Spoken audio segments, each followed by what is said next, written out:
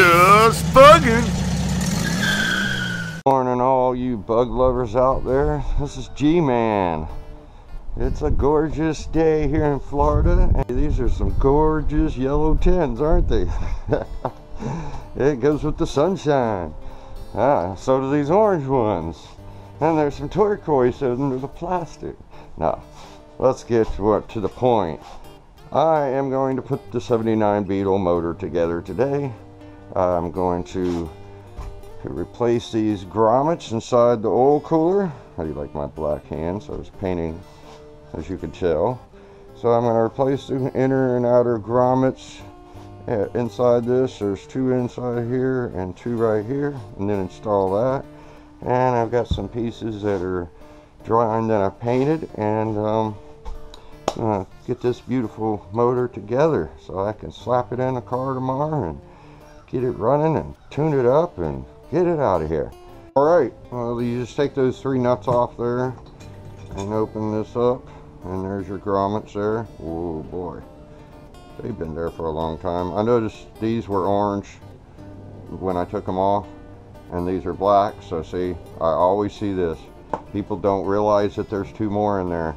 Then they put the motor all back together and uh, look what happens.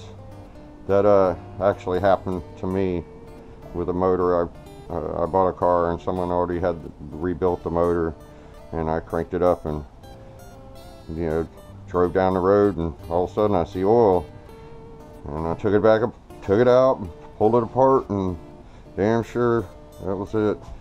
Um, so you just put your other grommets in there these two slap them down in there slide that bad boy on there. There we go. All right. Put all your washers back on there. Like I said I saw very few washers on this motor. I don't know why people do that. I like those little wavy washers they have. Leave it to the Germans. All right. Nothing to it. Yes, it is a whole lot to it if you don't do it. you just put your other two grommets there.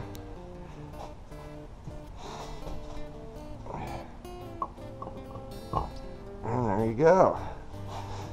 Put your nuts on there and you're all set for some oil cooling soon enough.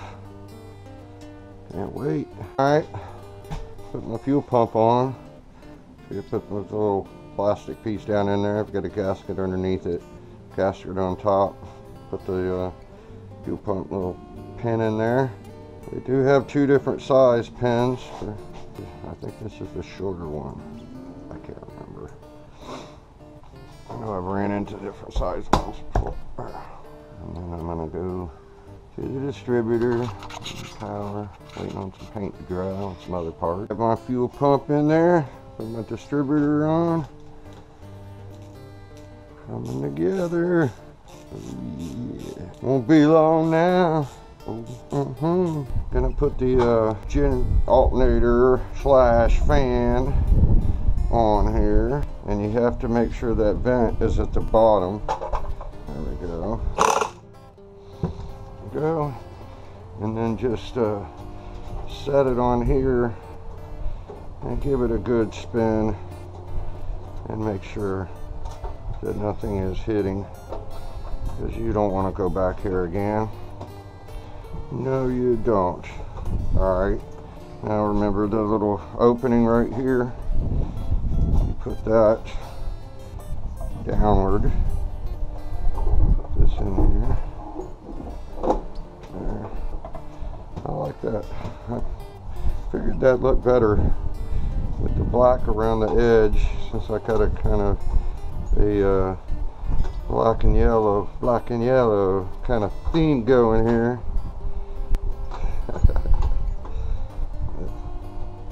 Alright.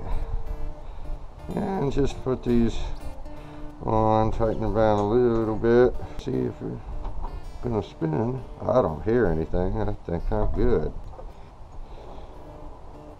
Alright, well I've got the tin on I really didn't put that on camera. That was uh, quite a trick with this. First time I'd had to deal with this uh, aftermarket oil breather here. It is pretty nice and sharp, but look at the clearance there. I mean, it gets sandwiched here and you actually can't lay this on like you can with the stock one. You have to actually put this in between here, turn it and put it in between here and come down with the whole thing over the oil cooler, trying to plant it on the on the four studs down here. And uh, I mean, it, wasn't as bad as I thought it was going to be, but you just can't do it. I mean, I when I took it off, I loosened these bolts and kind of brought it with it. So that was the only way to put it back. So it's looking sharp and uh, fans nice and quiet there. Yep. You can see I'm starting to put my carburetor, my intake manifold on and uh, I'm gonna put my boots on and get these on, gaskets. All right, that's my next step. Kind of a booger to get this on there too, huh? but it looks nice. I like how it's the black in the center, that black and white and silver theme going, surrounded by yellow. Beautiful. You see I got a little carried away and got more of it done. Uh, I'm waiting on the carburetor because I'm gonna clean it up a little bit. It doesn't look as clean as all this, but he didn't want me to rebuild it, so this car is gonna be sold. So if anybody's interested, uh, I've got I'm having a little issues trying to get this pan to mount properly so. And of course I haven't stuck the valve cover because uh, they're painted and I want to paint these and then I want one time to go on and I still have to do the valve adjustment. As you can see the motor is done for the 1979 convertible Super Beetle and I'm gonna stick this up here by myself. Boy, uh, I had to use all these blocks to kind of jack it up a little bit on each side, a little at a time to get this uh, jack uh, under there. I wish I had two pipes on it. It's a lot easier to do it by yourself with two pipes because you got both of them to hold on to and jack it up and nothing out here on the left. So I'm gonna get it up here and the timing and crank her up. Shouldn't be much. Alrighty. All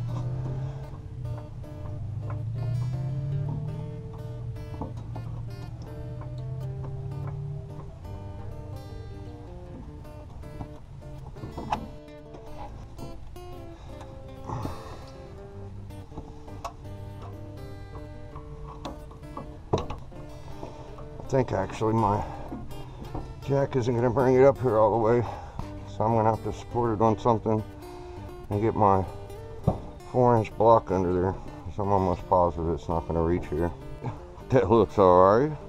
Hey, you can do it. Just use your head.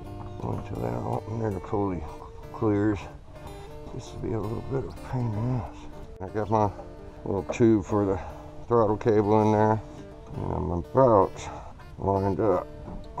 It would be easier if someone else was here, but I'm stubborn.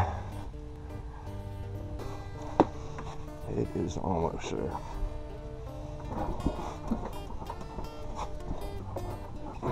That cable to shove into that. The tube's supposed to go right into the into that. All right, well, bottom studs are going in. This bad boy on first. And that's it. Okay, she's in there now. I got it all up in there. Three of my bolts in, top uh, left one, bottom two studs got the nuts on them and then the one over here with the half moon on the end.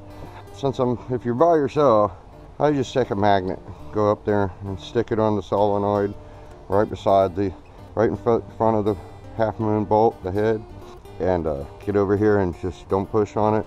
But it holds it enough in there to where you can catch some threads and you can do that by yourself. So i've got to do all that put this tin back in here hook up all my harnesses hook up my fuel line. But the one thing I can't seem to probably do by myself is uh, the tube for the throttle cable. It needs to actually go into the larger end, the metal cup end of the where the cable comes out, the sheathing. You, you have to stick it in there. It kind of gets in there and grabs it. Um, but yeah, I take I usually take somebody to have somebody push up against like a take your pry bar and have somebody back out here push on this. And someone gets underneath and gets a hold of that cable and for, wiggles it until until it all of a sudden gives and gets in there. And it'll give you that little bit of extra distance. See I'm I'm not quite halfway through that circle where my hold down for the cable the lock whatever you want to call it. So I got to hook up the heater boxes and um, all the cables and stuff.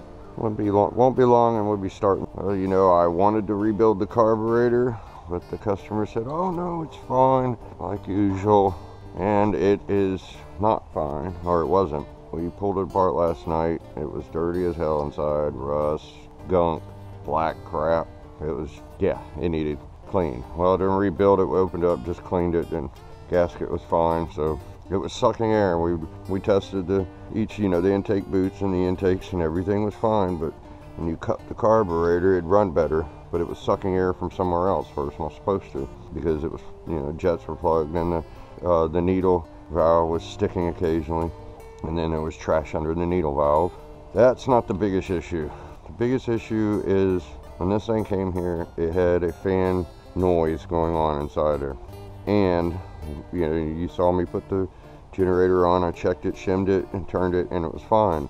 But when you get it in the car and you start it up and it's running 2000 RPMs or whatever you're revving it up you hear the noise come back. So probably very likely a hairline crack in the fan blade. So hoping I have the right one. There's two different sizes.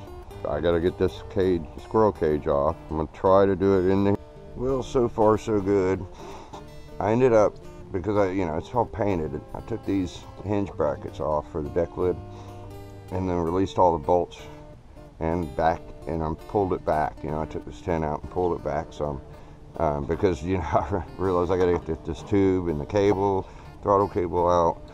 So, and then the squirrel cage came off fine. So, I mean, I don't, I didn't hear a noise in the first place but uh, it seemed like this tin a little bit needed adjustment. It was vibrating. This is why I want I can't wait until I build my uh, engine start stand. Uh, I'm ordering some parts right now for to mount a type 2 bell housing piece to it. So I, I'll have one now. Yeah because this ain't no fun doing it in the car all freshly painted but no boo-boos. I'll put it all back together and uh, get back to cranking it up. Looks fine. I just got to tune the carburetor up and give it a drive. It's running pretty good all now. The back on. Yeah, it's all right now. Only problem I have is that the, the cable for the throttle is a uh, cable for fuel injection because this is a fuel injected car, so it's slightly shorter. Right? It seems to be all running the way it should be now. Uh, the only problem I had is uh, that fuel injection throttle cable is a little shorter than the correct one or something new. The one with the black sheathing on the cable, you know, that goes inside the tube is actually the sign that it's a fuel injected one. I never knew that. Whew, is getting hot. Why is it so hot on a January in Florida? Oh yeah.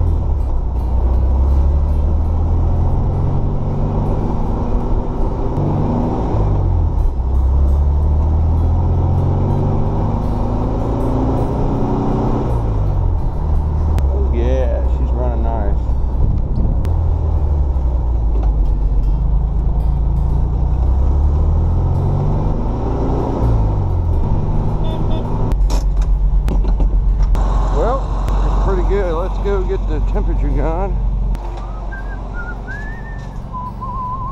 Smell that paint burning. Oh